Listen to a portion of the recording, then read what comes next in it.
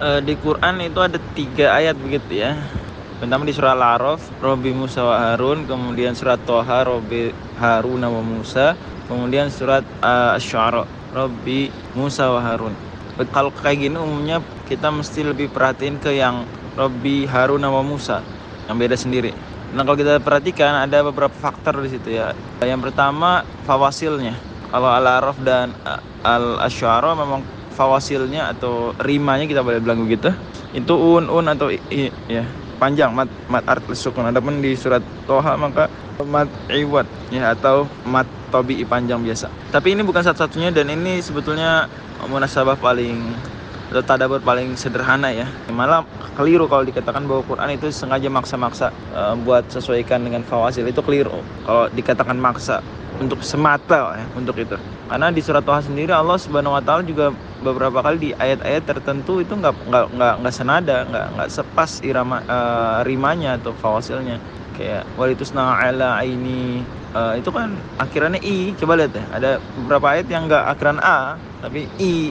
Jadi kurang tepat kalau dikatakan itu ada tujuan itu semata ya. Wa amri itu juga i kan panjang di halaman kedua dan ketiga dari surat Toha.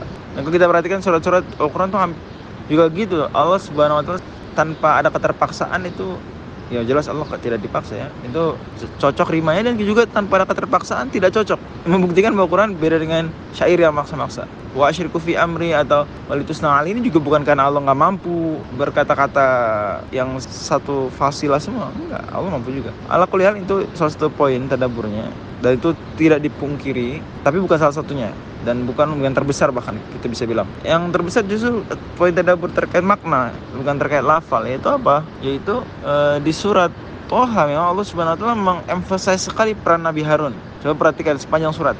Dan dari surat-surat kisah tentang Nabi Harun dan Nabi Musa, surat yang paling meng menggarisbawahi peran Nabi Harun itu surat Toha. Mulai dari bagaimana proses pengangkatannya, doa bersamanya, juga berdakwah bersamanya. Bahkan domirnya aja domir dua. Qala rabbana faqula lahu inna rasulah. Dua. Qala fama rabbukuma. Dan surat lain juga ada penyebutan Harun dan Nabi Musa berperan bersama tapi nggak sekenceng setebal sekuat di surat Toha.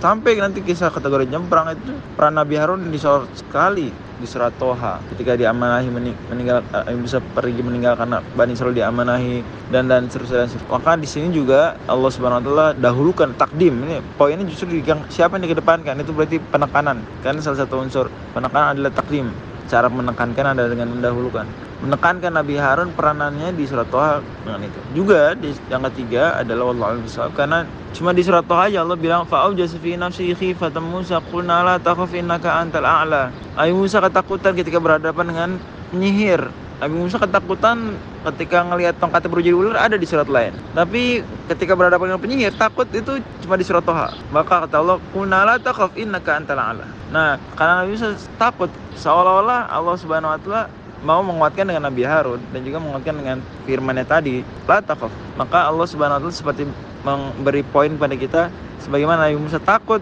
Nabi Harun belum belum takut. Setidaknya Allah nggak sebut takutnya Nabi Harun. Nabi Harun bisa jadi kita bisa bisa bilang ya bahwa dia beliau lebih tegar di sini. Maka kita semua tahu bahwa orang yang takut bisa ke, ke belakang. Ya secara makna itu secara posisi beneran. Itu Allah misal kuliah bagus saya suka pertanyaan-pertanyaan seperti ini